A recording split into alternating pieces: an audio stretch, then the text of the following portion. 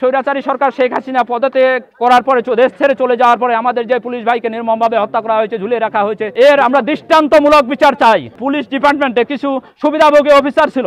তাদেরকে বিচারের আওতায় নিয়ে আসার জন্য সবিনয়ভাবে অনুরোধ করতেছি। এখানে কোনো বিশেষ ক্যাডারের জীবন যায় নাই। আপনাদের বিরুদ্ধে কখনো কাজ করে নাই। আমাদের করাইছে কোনো এক কুচক্রী মহল। আমাদের প্রতি আপনারা নির্মমভাবে নির্যাতন চালাইয়েন না। আপনাদের নিরাপত্তার জন্য আমরা কাজ করে যাব। আমার মারল কেন আমার ভাইয়ের রক্ত রাজারবাগ বৈষম্য বিরোধী পুলিশ সংস্কারের জন্য যারা আন্দোলন করেছে যে সমন্বয় কমিটি তাদের যে এগারো দফা দাবি এই এগারো এগারো দফা দাবির সাথে একাত্মতা প্রকাশ করতেছি। এই এগারো দফায় আমাদের একাত্মতা প্রকাশ করতেছি। এর মধ্যে আমাদের স্বৈরাচারী সরকার শেখ হাসিনা পদত্যাগ করার পরে দেশ ছেড়ে চলে যাওয়ার পরে আমাদের যে পুলিশ ভাইকে নির্মমভাবে হত্যা করা হয়েছে ঝুলিয়ে রাখা হয়েছে এর এর আমরা দৃষ্টান্তমূলক বিচার চাই। বিচার চাই বিচার চাই বিচার চাই। বিচার করলে আমরা আমরা বর্তমানে কর্মবিরতিতে আছি। আমাদের দাবিগুলো যদি মানা হয়, আমাদের পুলিশ ভাইদের নির্মমভাবে হত্যা করার জন্য করার যে আমরা বিচারের দাবি করছি, এদের যদি বিচার করা হয়, এছাড়া আমাদের পুলিশ ডিপার্টমেন্টে কিছু সুবিধাভোগী অফিসার ছিল।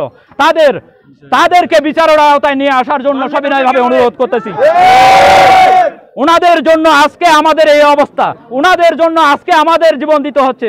ওনাদের জন্য আমাদের আজকে সহকর্মী ভাইদের জেনারেল ইন্সপেক্টরের নিচে সাব ইন্সপেক্টরের নিচে আমরা আমাদের এই বেশি জীবন গেছে। এখানে কোনো বিশেষ ক্যাডারের জীবন যায় নাই, এখানে কোনো যায় নাই। তাদের জন্য আমাদের আজকে এই অবস্থা। তাদের বিচারে আওতায় আনার জন্য সবিনয়ভাবে আমি আবেদন করতেছি। আমাদের এই কর্মবিরতি চলছে, চলবে, যতদিন পর্যন্ত আমাদের নেওয়া হবে।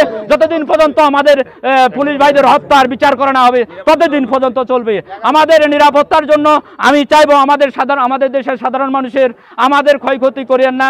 আমরা আপনাদের বিরুদ্ধে কখনো, আপনাদের বিরুদ্ধে কখনো কাজ করে না আমাদের করাইছে কোনো এক কুচক্রী মহল কোনো এক কুচক্রি পুলিশ অফিসার। এই জন্য আমাদের আমাদের প্রতি আপনারা নির্মমভাবে নির্যাতন চালাইয়েন না।